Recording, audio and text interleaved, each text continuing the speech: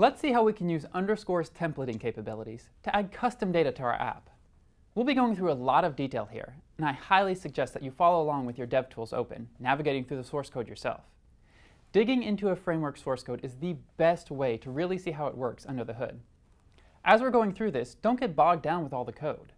Focus on how the template gets converted from HTML to a function. That's right, a function. A function that waits to get called with data.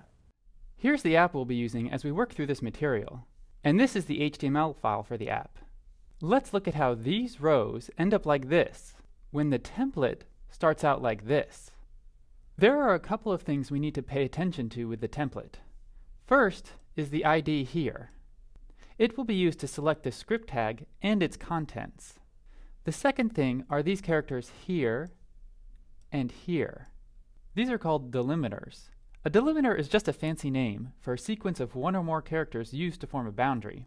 We need these delimiters to separate the HTML from what will become JavaScript variables.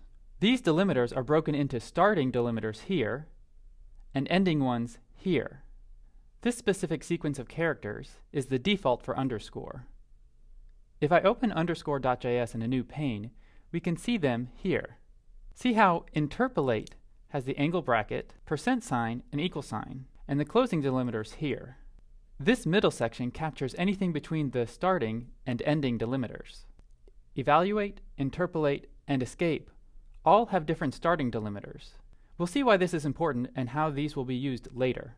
So we have this template, and it's filled with these special delimiters, but how does it get converted to what's seen in the browser?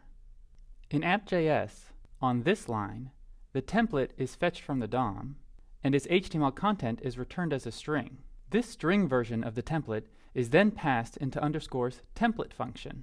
This template function is where all the magic happens. Let's take a sneak peek at what the template function does by copying this code and pasting it into the console. We can look at the result of the template function by checking the source property. The template function returns a function itself. Functions are extremely powerful, and the template function makes use of a JavaScript constructor function. Let's look at how a constructor function works.